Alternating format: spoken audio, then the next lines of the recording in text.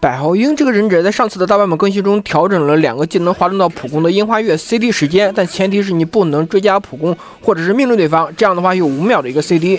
刚开始我在实战中很少会用到那个五秒 CD 的樱花月，基本上都是会追加普攻或者是抓取打伤害。那我们再来看一下现在百豪鹰的一个实战效果，对面手里没有技能，居然还敢普攻，那我普攻抓到你一个后摇，即便是他不普攻，我手里还有一个霸体秘卷。这个百豪鹰整体拉伤害的速度还是非常快的，原来他也是高伤害著称。如果你拿了先手以后，尽量先觉醒，这样的话伤害会有一定的提升。同时，如果你出现一个白色血条的话，觉醒以后的攻击还会恢复一定的血量。所以说，你有的时候会觉得这个忍者打着打着，哎，血又回来了。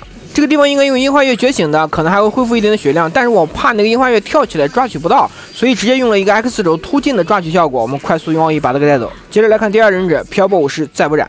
我们开局的时候，先尽量拉开一定的距离。这个漂泊武士再不斩突进的速度还是非常快的。他带了个怒秘卷，肯定是开局直接买能量条。我们直接樱花月过去拿先手，但是没有命中，被他拿先手。我们提升一个技能抓取，你还想防反？手里没技能，居然秒替，那只能丢通灵。我们快速再砸个熊猫。这时候我们可以先用樱花月进入到觉醒状态，然后再拉一波伤害。你看这个血量还恢复了一些。接着在长按一技能打出去，这个时候我们过去用普攻 A 他两下偏个替身，但没有衔接好，出现这个倒地的情况，被他拿先手。我们快速提升，你以为我没有抓取了吗？这个忍者的樱花月优势就是你一技能直接释放是一个抓取，但你二技能滑动到普攻也是一个近距离的抓取。所以说你碰到百豪樱的话，尽量不要在近距离放这种防反技能。但像白面具那个反弹或者是惠特佑的防反，这样可以防御一些抓取技能，那个倒是可以。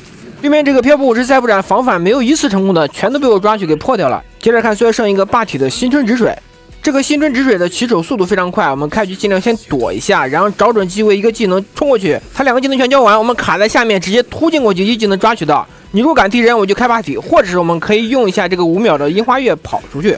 因为当对方打算用普攻抓我后摇，或者是起手速度比较慢的技能，那这个五秒的樱花月就非常好用。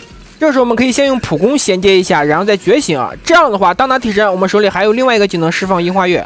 而且你看这个百花鹰拉伤害的速度非常快，只要一次失误就可以把血量差直接拉回来。他们替身直接反向溜走啊！这个技能如果没有空中判定的话，还真可能会躲掉。好了，这就是百花鹰的一个实战效果。各位觉得他现在的强度如何呢？